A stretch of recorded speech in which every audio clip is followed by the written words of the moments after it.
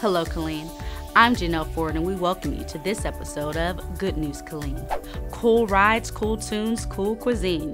Killeen's culture will be put on display for a two day event of beautiful art and entertainment. The Celebrate Killeen Multicultural Festival is here, so we hope you're ready. Friday, April 26th from 6 to 10, and Saturday, April 27th are jam packed from 10 in the morning until 10 at night. All the family fun is free and goes down in historic downtown around 200 East Avenue D. Come for the food truck, step show competition, local vendors, games, or car, bike, and truck show. You won't want to miss this celebration showcasing the best of what our city has to offer. KilleenTexas.gov slash downtown events for more. A new rec center, new parks, or consolidating all 42 City of Killeen buildings into one to make sure services are more easily accessible for citizens. All that will be discussed at the next Bond Project Public Forum. Will be held on Thursday, April 25th at 6 at City Hall's Council Chamber. We need everyone's input and ideas for upcoming projects that will shape our city's future. Join us for a discussion on GO and CO bond projects and learn how they work.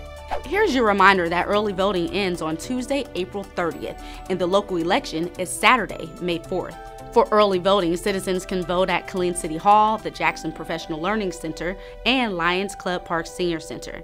There are several precincts where residents can vote on election day depending on their district head on over to KilleenTexas.gov slash election to learn how to perform your civic duties. Killeen Animal Services has great news. The Killeen Animal Services Department is opening a brand new animal center.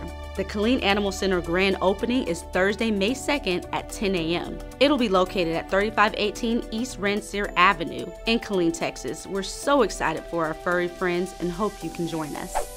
The spring night market got off to a wonderful start live music, food, and a chance to support your local small businesses, what could be better? It's all in the historic downtown district from 6 to 9 on Friday nights, including May 3rd, May 10th, and May 17th. Head to KilleenTexas.gov slash rec, R-E-C, for vendor information and more. For more details on events, programs, and happenings around town, head to our city's website, KilleenTexas.gov, or follow us on our social media platforms. Enjoy your week.